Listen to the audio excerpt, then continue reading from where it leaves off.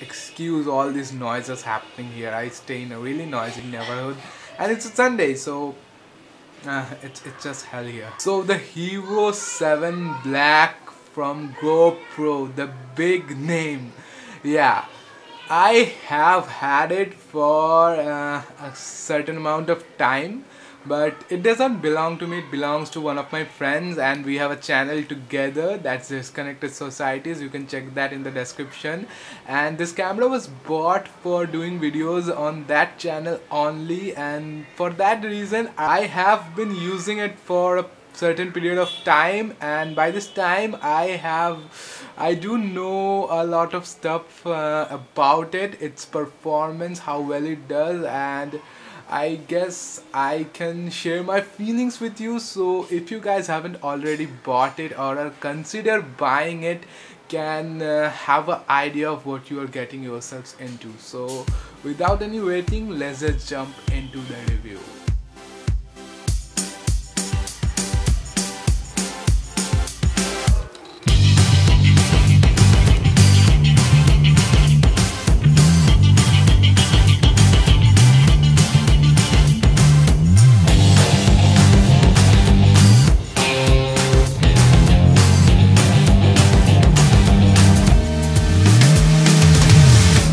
So you guys must be thinking that I am pretty late to it. I mean people have had this camera for so long they have done there are tons of reviews on the YouTube.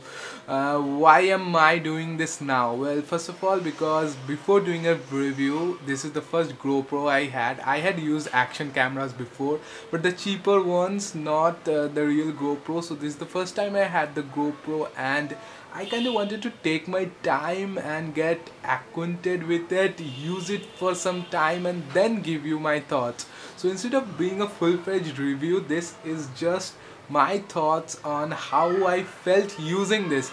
Because I am not an athlete or a real like sports person. I though i'd love to love to go on adventures and stuff but i don't generally do that. So I want to tell you, I want to give you my views of what I think that a general person, a general YouTuber like me who doesn't do that much of adventure sports or adventure tourism stuff, does that people really need it? Is it really worth it? And I also want to give you an insight a little bit of the infamous uh, image stabilization that GoPro has been solely advertising this camera on and that has been one of the reasons my friend bought this camera in the first place because he needed the stabilization. We the videos we do there are sort of travel related they're food vlogging they're festivals and we do a lot of walking in there and doing stuff like DSLR it's it gets difficult it gets cranky it gets super shaky even smartphones are not worth it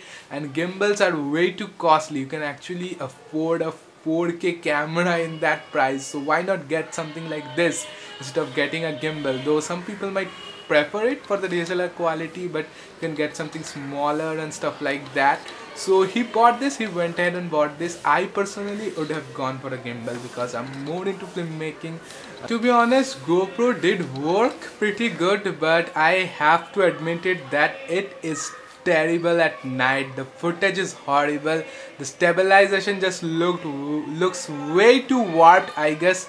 Warp stabilization uh, in premiere pro post does it better. I don't know. It just looks horrible in night. The quality is shit and overall if you uh, never try to compare it with DSLR because it will never give you that crispiness or sharpness.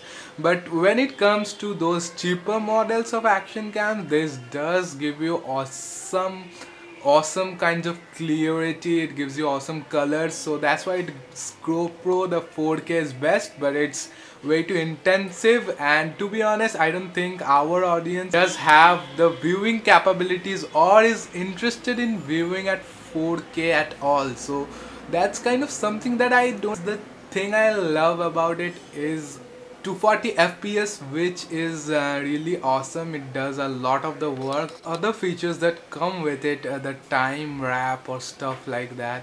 It's it's stupid. You can you can do it that in post. You can just edit normal stuff and speed that up in post. I do not I don't think that's really something that I really need. But the time-lapse feature is good. It it's uh, I guess it's worth it. Uh, it's needed. You don't get that in a lot of camps. So the time warp and stuff like that I don't think it's it's really needed to me. So uh, that's kind of the stuff that's bothering me.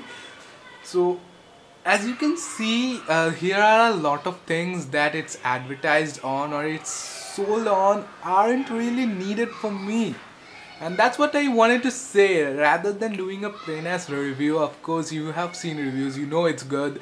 And it's not that good but it's pretty good. That's pretty much it. Um, I don't need it to be honest. And I wouldn't buy it. I'd go for a gimbal or something else. Just a step steady cam maybe that comes at a lower price. And to filmmakers it's it's worth it because you can just put it in really weird corners really um, small places because it's small you can obviously do that with the DSLR so that's that's a good thing uh, for uh, creative angles. And you can also uh, if you're a sports person and you like to do something uh, the uh, first person perspective stuff uh, it it's pretty awesome for that also. But overall for just uh, casual vlogging i don't think you can do it because you cannot put it you, you have to hold it really far away from your hand and you just can't put that over your face because your face would look crazy distorted and it looks ugly. Trust me i tried taking selfies. So